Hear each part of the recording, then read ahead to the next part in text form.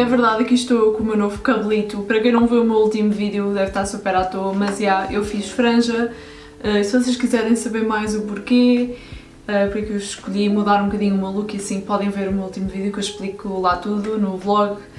Uh, e pronto, hoje trago-vos um vídeo de coisas boas do último mês, que é um vídeo bastante recorrente aqui no meu canal. Eu sinto que este mês até me apaixonei por vários produtos, principalmente na onda do sustentável e do mais amigo do ambiente, o que me deixa muito contente eu fazer descobertas desse género. Em termos de maquilhagem, eu sinto que a minha maior descoberta este mês e que já tem sido uh, de junho, penso eu, é esta base aqui da Physicians Formula, que é The Healthy Foundation Brightening Complex for all skin types. A minha na cor LN3. Eu diria mesmo que se vocês são aquelas pessoas que habitualmente não gostam do look de base na vossa cara, no vosso rosto, mas que eventualmente gostariam de ter algo para vos dar alguma cobertura ou cobrir algumas imperfeições, esta é a base para vocês, porque ela tem realmente um look e um acabamento super, super, super natural. Eu posso vos dizer que já experimentei muitas bases e que nunca senti que uma base me assentasse tão bem na pele. Eu sinceramente acho que ela favorece mesmo e que tem um acabamento super bonito e ao mesmo tempo dá-vos alguma cobertura é o suficiente para vos deixar a sentir mais confiantes se estiverem com a pele um bocadinho com mais borbulhas ou ah, sei lá, às vezes uma pessoa simplesmente não está a sentir a sua pele e sente necessidade de a cobrir mas também quer deixar respirar e quer que fique com um look natural e às vezes é difícil de encontrar isso. E esta base realmente é muito boa. E ela tem SPF 20, tem proteção solar e é sempre bom termos um bocadinho de proteção extra, o que eu, eu acho mesmo ótimo. Ela é assim, posso-vos mostrar mesmo aqui o aplicador, é como se fosse tipo de corretor, estão a ver? Mas tipo gigante, é assim bem gordito. Aquilo que eu queria dizer é que se vocês normalmente são pessoas que têm muitas borbulhas ou assim, acho que não é boa ideia aplicarem diretamente na vossa pele porque depois vocês vão voltar a pôr o aplicador dentro da base e acaba por ficar lá todas as bactérias e sim e pode contribuir para que a vossa pele não ande a melhorar, porque a base fica tipo contaminada, percebem? Por isso a minha dica é vocês primeiro porem a base tipo na palma da vossa mão, uh, ou simplesmente numa paletazinha e depois aí vão com o vosso pincel e aplicam diretamente na cara. Eu sei que é difícil de resistir porque é muito prático, tipo, vocês veem o aplicador e tipo, ah, eu quero deslizar isto na minha cara, né? E eu faço isso quando a minha pele está boa, mas quando eu sinto que tenho muitas borbulhas, acho que não, não é boa ideia e acho que não contribui em nada para o bom estado da vossa pele. Infelizmente eu já ouvi por uma youtuber americana que esta base foi descontinuada, o que me deixou mesmo super triste, mas eu tenho ideia que, como a marca Physicians Formula veio há pouco tempo a Portugal, veio para as nossas Wells, é lá onde vocês conseguem encontrar esta marca, no, nos vossos continentes, se tiverem uma Wells, em princípio tem Physicians Formula, e eu sinto como vem agora para Portugal é capaz de ainda terem um grande stock destas bases. Eu espero que sim, a sério, fico mesmo triste se isso não acontecer. Mas na Primor tenho a certeza que vendem e no Else também, por isso ainda está acessível a nós e uma pessoa vai aproveitando enquanto pode. Se vocês estiverem à procura de uma boa base agora para este verão, não escorregue demasiado, porque é isso que ela consegue. Ela ao mesmo tempo não é super dewy e não derrete imediatamente na vossa cara, percebem? Ela aguenta-se bem na pele e ao mesmo tempo tem este acabamento tipo super, super lindo. É mesmo, mesmo uma segunda camada de pele e que praticamente qualquer pessoa iria adorar. Eu não posso falar tanto pelo tipo de pele super oleosa porque eu sei que esse tipo de pele já é mais complicada, uh, mas é uma questão de vocês experimentarem também. Mas é, é ótima e adoro. Adoro, adoro, está ali no top. Agora, temos aqui um blush em creme da H&M e é o Lip and Cheek Color. E é na cor My Old Flame. E como vocês veem já está assim bem esgravatado.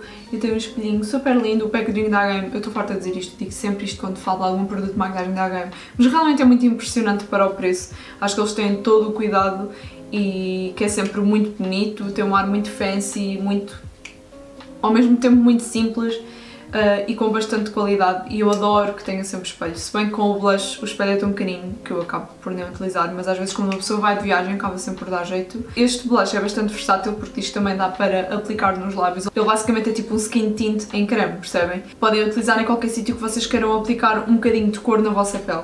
Pronto, eu ando a utilizá-lo muito, muito, muito, muito como blush, mesmo muito.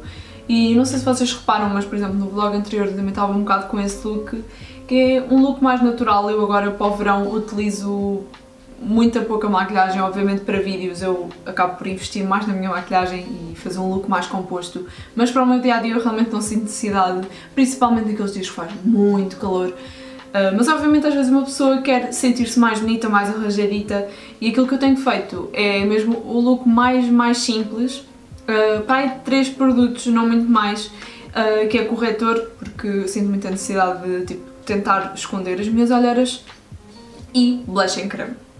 É basicamente isso, eu ponho um bocadinho de pó, às vezes ao resto dos olhos, fixador de sobrancelhas que às vezes até utilizo como máscara de pestanas porque é transparente e eu não quero tipo uma pestana super marcada, quero algo mais natural possível, simplesmente penteadinho. Então eu tenho utilizado muito, muito, muito este blush e aquilo que eu faço uh, é ir diretamente com a minha esponjinha, tipo com o rabinho da Beauty Blender, e aplicar mesmo nas maçãs do rosto e estender aqui para cima e até para o nariz. Tenho feito tipo em formato W e acaba por me dar assim um ar mais rosadinho Uh, e um ar mais jovem, não sei, eu tenho gostado mesmo muito de fazer esse look e acho que fica assim, mesmo com um ar fofo e acordadinho e bem disposto, não sei, eu acho que o blush tem mesmo esse poder em nós e ele funde super bem na pele, vocês conseguem ver que o tom dele é assim um rosa queimado. Ele também acaba por ser super prático e muitas vezes eu estou com pressa ou assim e vou mesmo com os meus dedos diretamente ao produto e aplico assim e funde super rápido e dá-vos logo um ar muito mais composto e mais bonitinho, se é vocês estão à procura. E eu cada vez sou mais apaixonada por blush e agora consigo mesmo substituir os outros produtos e conseguir só pôr blush. Quando faço esse look super natural não sinto necessidade de pôr bronzers, não sinto necessidade de pôr iluminador. E outra coisa ótima também dos produtos em creme é que acabam por assentar muito melhor na vossa pele, ficar com um look muito mais natural, porque não entra tanto em choque com a textura da vossa pele. Mais facilmente são absorvidos, então mais facilmente assentam bem. E outra coisa ótima também de serem creme é que acabam por vos dar também mais algum brilho brilho, mas um brilho natural, tipo isto, automaticamente por serem creme, vocês parecem mais glowy, então não sinto realmente necessidade de pôr iluminador, porque acho que já fico com esse ar uh, mais iluminado também. Entretanto, eu sei que a Section de Beauty também já não existem muitas HMs, mas uh, pelo menos na do Chiado e na do Colombo existem ainda Beauty e também há online. Agora temos aqui um gloss que é da Fenty Beauty e é o tão famoso Gloss Pump e este aqui é na cor Fenty Glow, que é assim, a original foi o primeiro. Ah, este gloss é só a cena mais linda, mais maravilhosa desta vida. Eu estou com um bocadinho, tipo, no centro dos meus lábios, mas não muito porque eu não queria um look tão quente, uh, por causa dos meus olhos assim terem assim estes tons mais rosa, mas mais arroxeados, acho que não faria sentido estar uh, com, com um lábio muito quente uh, carregado. Mas estou com um bocadinho, está lá para ver assim um bocadinho do brilho dele e eu tenho utilizado em vários vídeos. Se vocês me veem com gloss, provavelmente é este aqui da Fenty Beauty. Eu estou completamente rendida, eu acho que realmente vale o dinheiro este gloss, é mesmo lindo, maravilhoso. E tem assim uns brilhos dourados ao mesmo tempo, tem uns reflexos muito, muito, muito bonitos. E realmente dá-vos aqueles lábios super juicy, super volumosos.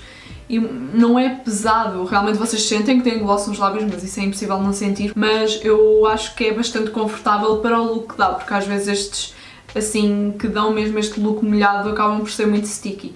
E este não, não é uh, pegajoso e realmente favorece muito, muito os lábios. Eu acho que o tom dele é super universal e que acabam por conjugar um bocadinho com todo o tipo de pele, que é um bocado essa a promoção que a Rihanna também fez com ele e acho que não poderia estar mais certa, porque é um tom mesmo muito versátil e que imagino a conjugar-se super bem com todas as cores de pele. Agora vamos passar assim para a onda dos produtos mais sustentáveis, as minhas descobertas. E o primeiro é este aqui que é um desodorizante que eu fiz um vídeo totalmente dedicado, não foi totalmente dedicado a ele, mas foi um bocadinho a falar sobre a minha experiência com desodorizantes. E este aqui foi o eleito e é o que eu tenho utilizado há, para aí, opa, há mais de um mês uh, um mês e meio se calhar, já vai fazer dois meses se calhar. E é da Santé e é o Crystal Deo Stick e é assim uma pedra mineral, isto é tipo de potássio. Se vocês quiserem saber mais pormenores, uh, eu vou deixar o link abaixo para esse vídeo porque eu realmente dou todos os detalhes e como é que foi a minha experiência com ele.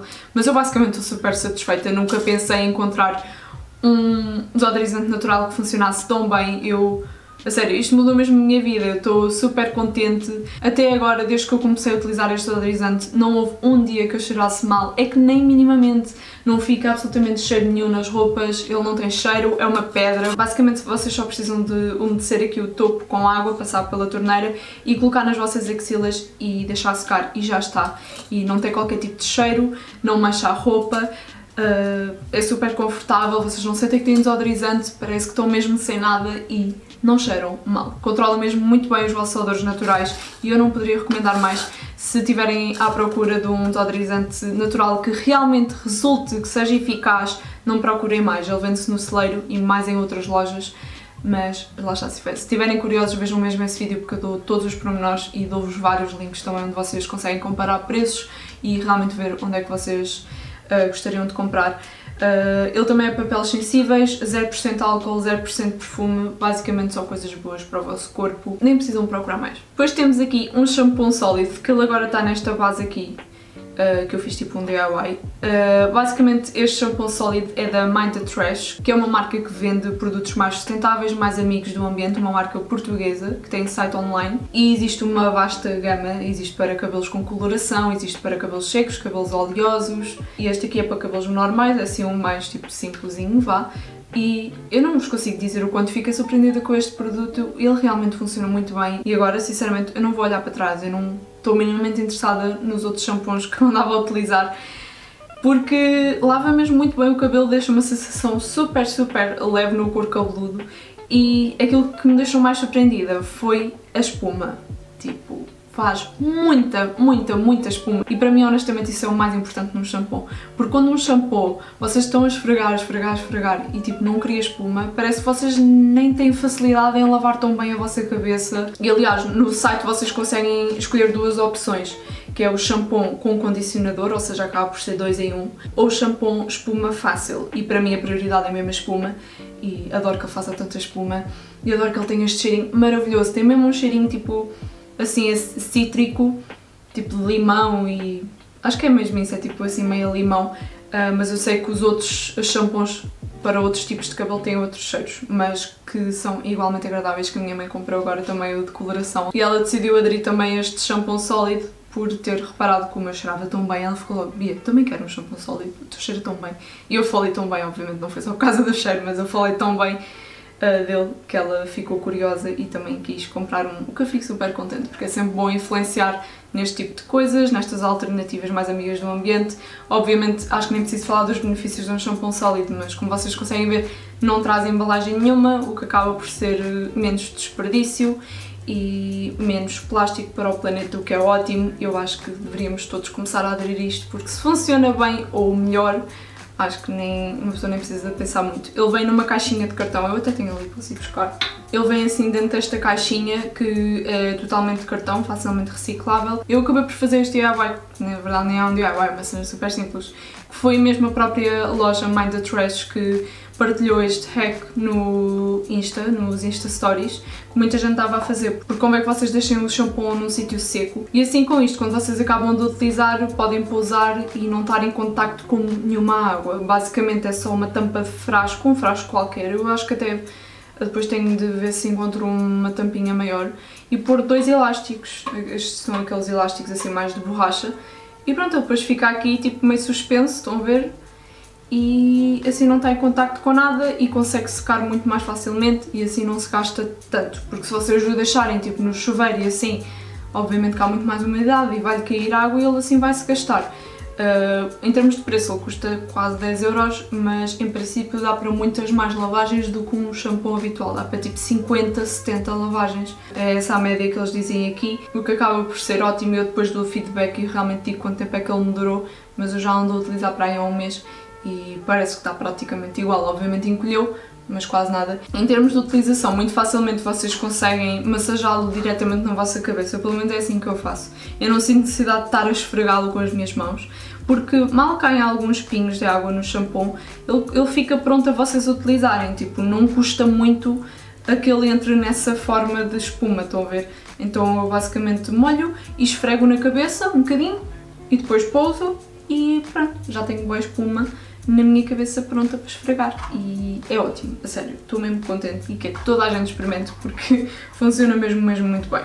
E para acabar aqui os produtos de beleza, tenho então estes discos desmaquilhantes que são também da Mind the Trash, que são discos desmaquilhantes uh, de algodão, uh, ou seja, são reutilizáveis. E isto vem assim numa caixinha de 5 unidades, como vocês podem ver eu tenho aqui os 5 limpinhos, e este produto eu acho que já comprei para aí em maio, eu na altura até falei nos meus Insta Stories que tinha comprado e depois dava feedback, mas eu realmente quis utilizar durante mais tempo, que era para ver se eles realmente se aguentavam, uh, e se não se estragavam facilmente, porque eu tinha muito medo que eles se começassem a desfazer ou perder a forma, porque uma pessoa estar constantemente a lavá-los, obviamente acaba por ser agressivo e isto é tipo algodão orgânico e assim, então tive um bocado de medo e decidi experimentar durante mais algum tempo para vos dar realmente uma opinião mais completa e que realmente fizesse sentido. E após muita utilização, eu posso-vos dizer que não poderia estar mais contente porque sinto que é daquelas mudanças que realmente têm muito impacto, assim como o shampoo sólido, obviamente, mas é muito menos lixo que eu faço. Eu antes utilizava tipo discos normais de algodão, uh, descartáveis, né? Como a pessoa põe no lixo. Eu nem vos consigo dizer as vezes que eu tipo, utilizei isto e fui para pôr no lixo. Tipo, tantos anos e tantos anos com esse hábito, né? É difícil de mudar e já se torna automático. Então eu acabava de me desmaquilhar e ia diretamente ao caixote do lixo para o mandar, mas nunca cheguei a mandar lembrei-me sempre a tempo, graças a Deus. Mas basicamente ele tem um lado assim mais gentil, que é o lado dos olhos, e depois outro lado assim mais normal, que é um bocadinho mais agressivo e que não vos vai fazer diferença na pele. Eles são assim em formato tipo uh, quadrado, tipo retangular, precisamente para também evitar mais desperdício, porque obviamente se eles fossem redondos acabava por haver aqueles restos de tecido, né? Um, então, yeah, é só coisas boas. Isto diz aqui algodão orgânico, sem desperdício, reutilizável e 100% vegano. Eles obviamente agora estão muito usados, eles eram bem mais macios e mais bonitinhos, mais um quadradinho perfeito do que isto, né? Tenho muitas saudades daquilo que eles eram inicialmente, tipo, eles eram mesmo muito, muito macios. Principalmente aqui a parte dos olhos nota-se muita diferença, mas uma coisa é que eu só lavo com sabão azul e eu queria ver se começava a lavar, tipo na máquina de lavar a roupa, juntamente com as outras coisas, mas dentro de um saquinho. Eu simplesmente é que ainda não andei a procurar e ainda não sei bem tipo, que tipo de saco é que os posso pôr dentro e que seja próprio para isso. Sinceramente eu não sei. Se vocês souberem uh, e tiverem, digam-me nos comentários onde é que vocês compraram ou que tipo de saco é que tem de ser, se pode ser algo bem simples ou não. Pronto, porque eu queria ver se os punha na máquina, que é para utilizar a maciador com eles e ver se eles uh, ficam um bocadinho mais macios. Mas, mesmo assim, eles estão muito bons para quem anda aqui a esgravatar. Basicamente eu desmaquilho-me normalmente uh, com este lado para os olhos e depois este lado para a pele e depois no fim lavo logo, que é para ter sempre algodões disponíveis e não custa nada, tipo, acaba por ser um hábito que vocês ganham. Então eu faço sempre isso, é muito raro deixar um disco sujo de lado. Só se for num dia que eu estou com muito sono e já é muito tarde e desmaquilhei-me tarde e realmente não me apetece nada, desmaquilho-me e ponho de parte e depois no outro dia lavo ou assim mas em geral faço sempre isso, acabo de desmaquilhar e lavo. E aquilo que eu faço é pôr bastante sabão azul dos dois lados, esfrego, ainda com alguma força, né? Esfrego.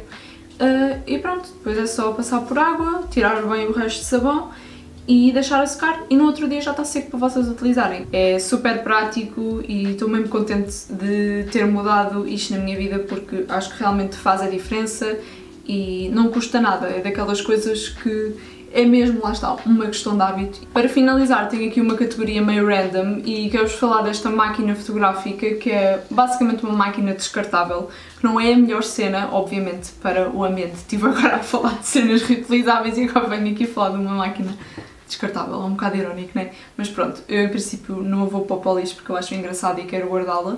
E era uma experiência que eu queria ter, eu nunca comprei nenhuma e sempre tive curiosidade e acho que é muito engraçado para quando vocês vão de férias e tiram as fotos todas com esta máquina e acaba por ser uma atividade gira, assim tipo um challenge para as férias, é gastar o rolo uh, e tirar fotos diferentes e depois rolar e ver o resultado, não sei, eu acho que é giro porque também não dá trabalho nenhum, é, vocês não têm de pôr definições nem nada, isto é tipo tudo automático, só têm basicamente de rodar o, o, o rolo, é super fácil.